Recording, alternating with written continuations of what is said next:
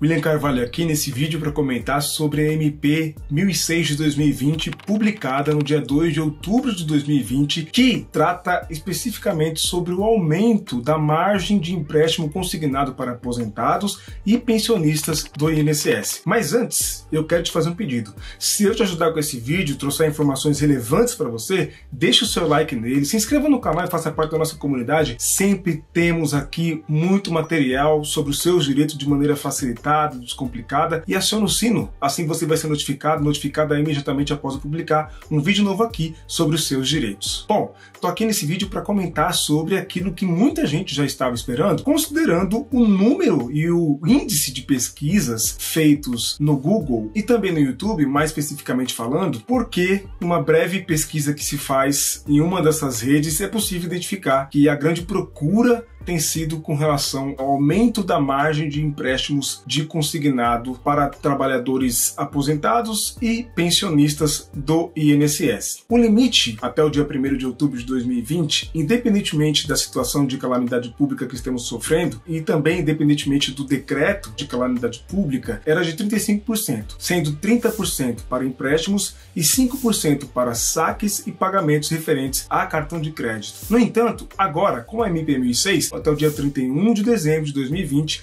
esse limite está aumentado. Sai o patamar de 35% e chega agora ao patamar, o limite de 40% de comprometimento da renda dos aposentados e pensionistas, sendo 35% para empréstimos e novos empréstimos consignados e 5% especificamente. E essa é a mensagem desse vídeo. Guarde essa informação. 5% especificamente para pagamento com débitos referentes a cartão de crédito e saques também provenientes ali do cartão de crédito. Acompanhe comigo o que diz a MP brevemente. O presidente da República, no uso da atribuição que lhe confere o artigo 62 da Constituição, adota a seguinte medida provisória com força de lei. Artigo 1 até 1 de dezembro de 2020, o percentual máximo de consignação nas hipóteses previstas no inciso 6 do caput do artigo 115 da Lei 8.213, de 24 de julho de 91, e no parágrafo 5 do artigo 6 da Lei 10.820, de 17 de dezembro de 2003, será de 40%, dos quais 5% serão destinados exclusivamente para 1. Um, amortização de despesas contraídas por meio de cartão de crédito, ou, inciso 2, utilização com finalidade de saque por meio do cartão de crédito.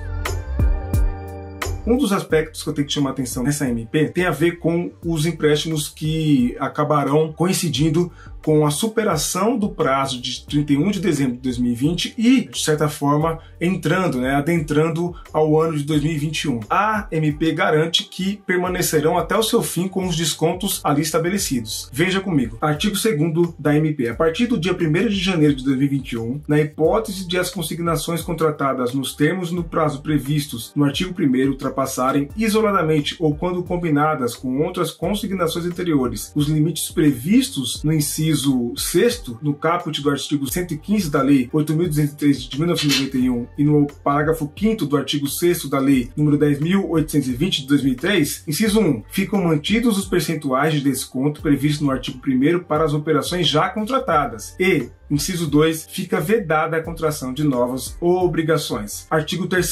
Esta medida provisória entra em vigor na data da sua publicação.